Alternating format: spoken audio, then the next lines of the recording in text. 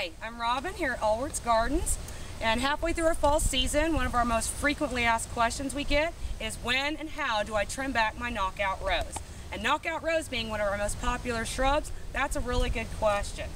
What you need for the job is one pair of pruners, preferably clean and sharp. Now, what we're going to do in the fall is called a removal pruning. We're going to take this plant back uh, probably about a third so that we achieve a desired height somewhere between two and three feet. Removal pruning is beneficial for a couple reasons. It keeps the plant nice and neat for the winter, and most of all, it minimizes snow breakage. So to start, you want to go in and grab one of your branches, and it's always good to get in the habit of always making a cut where a branch is growing outwards rather than inwards. So you want to make a good cut above the branch growing outwards.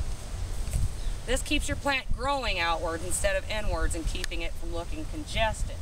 Once we get a third of this plant removed, it helps us helps us get down in between the middle here and remove any kind of dead canes. Okay, we're finished cutting. We've achieved our desired height. Uh, once again, we're going to come back in the spring and cut this again. We're going to cut this thing down probably somewhere between